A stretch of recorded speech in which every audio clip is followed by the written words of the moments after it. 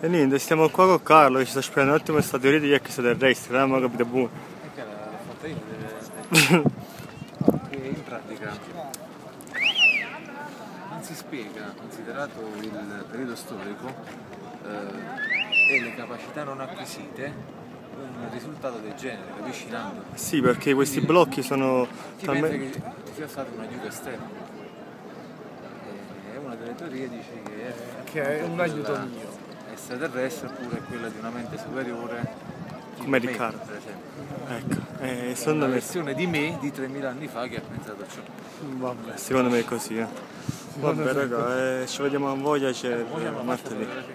Ci facciamo una foto. Ciao belli, però non si capisce forza cammelli.